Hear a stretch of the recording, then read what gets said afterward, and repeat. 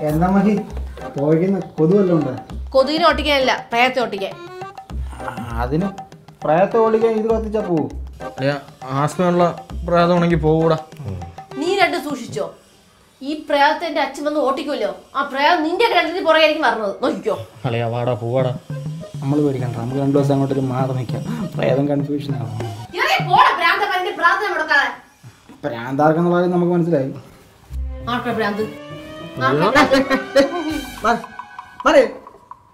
അവിടെ രാവിലെ ജലപാനം പോലും കഴിച്ചിട്ടില്ല. നീ ചായ ഇട്ടാണ് പിന്നെ. പൊര കത്തമ്മയാണ് അവന് വാഴ കെട്ടൽ അത് പൊര കത്തുന്നില്ല. നീ കത്തിച്ചോണ്ടിരിക്കല്ലേ എന്റെ അച്ഛൻ പറഞ്ഞത് ഒറ്റ എണ്ണ ഇവിടെ ജലപാനം പോലും കഴിക്കരുതെന്നാണ്. ആ പിന്നെ ഇവിടെ ഇവിടെ ദാഹിച്ചിട്ട് മനസ്സിരിക്കാൻ പോയി ഞാൻ വെള്ളം കുടിക്കാൻ പോണു. നീ വെള്ളം കുടിക്കരുത്. പിന്നെ നീയല്ലേ പറഞ്ഞ ഞാൻ വെള്ളം കുടിക്കും. പിന്നെ കൊള്ളാം. കുടിക്കരുത്. ഞാൻ കുടിക്കും.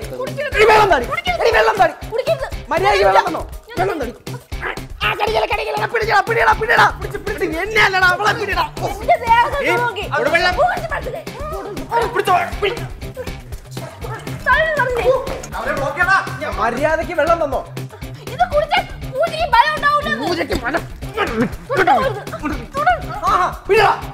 പൂജയ്ക്ക്.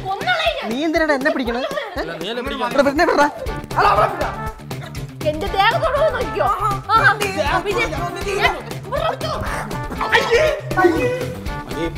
എന്റെ അച്ഛൻ സോദരൻ ശരിക്കറിയാലോ എന്റെ അച്ഛനെ.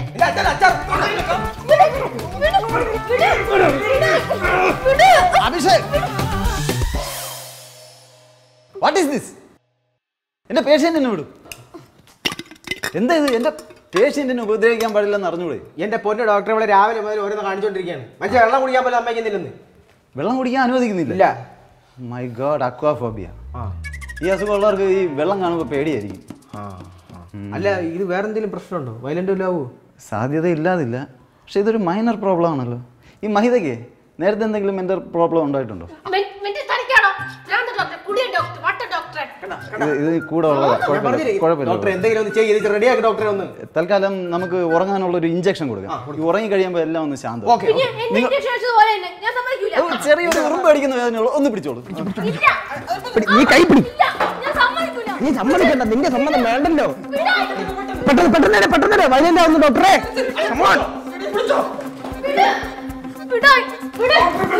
പിന്നെ വിടാതെ വിടാതെ മുറുകെ പിടിച്ചോളൂ. മഹിത ഒരു ഉറുമ്പ് അടിക്കുന്ന വേദനയുള്ളൂ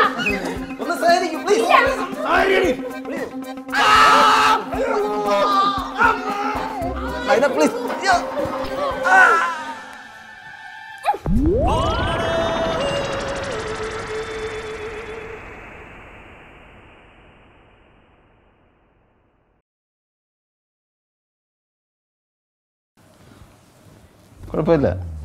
ഇടയ്ക്കിടയ്ക്ക് ഇങ്ങനെ സംഭവിക്കാറുള്ളതാ. ഒരു ഉറുമ്പ് അടിക്കുന്ന വേദന അത്രേ ഉണ്ടാവുള്ളൂ.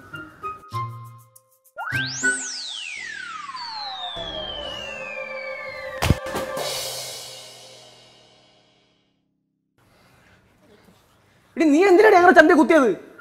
പിന്നെ ഒരു കാര്യം എന്നെ കുത്താൻ വന്നതിനാ ഞാൻ ഒരു രൂപത്തെ കണ്ടെന്ന് പറഞ്ഞോണ്ടല്ലേ നിങ്ങൾ എന്നെ കൂടെ എനിക്ക് വട്ടാണെന്ന് പറഞ്ഞത്. എന്നിട്ട് ആ രൂപ എവിടെ?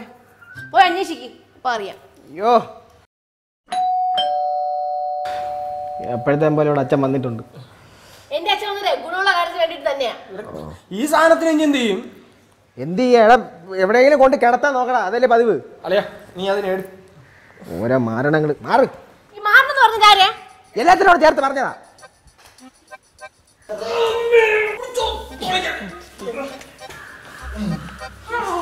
നിനക്കേ നല്ല ഭ്രാന്താണ് കേട്ടോ